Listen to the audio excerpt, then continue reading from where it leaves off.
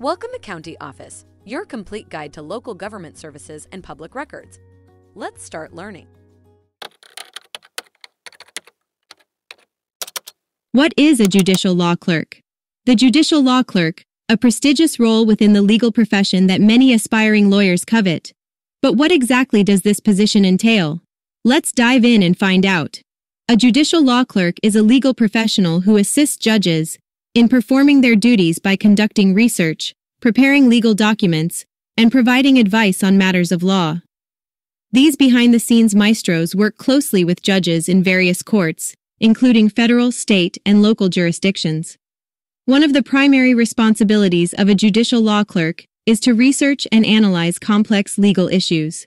They sift through mountains of case law, statutes, and regulations to provide judges with the most relevant and up-to-date information to make informed decisions.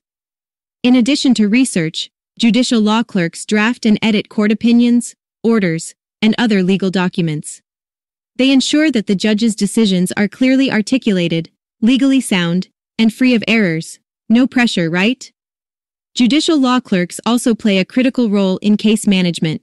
They review and summarize case files, help judges prepare for oral arguments, and communicate with attorneys and court personnel to keep the wheels of justice turning smoothly.